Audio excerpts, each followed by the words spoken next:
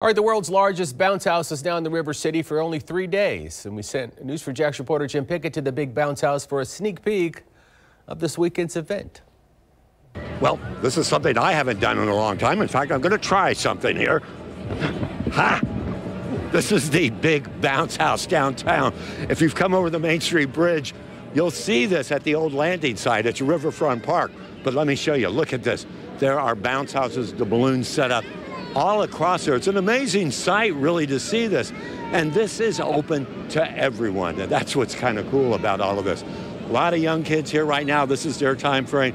Earlier in the day, like after 6 o'clock, well, it's an adult time to come out and enjoy the fun out here. There's all types of bounce houses available. All that information is available online. You can come down free and watch, but to participate, well, that's going to cost you. And you can make those reservations online. We have all of that for you at news4jax.com. But for now, we're out here bouncing at the Big Bounce House Extravaganza downtown. Jim Piggott, Channel 4, the local station.